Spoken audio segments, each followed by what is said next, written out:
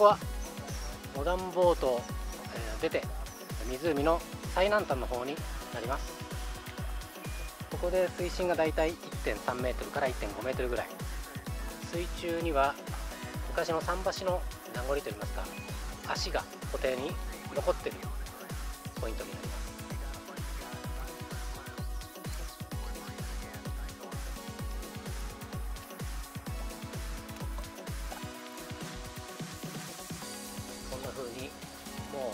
とんど朽ちてしまっているんですが縦ストラクチャーだったりですとか複雑にこうものが絡み合っている感じになっています。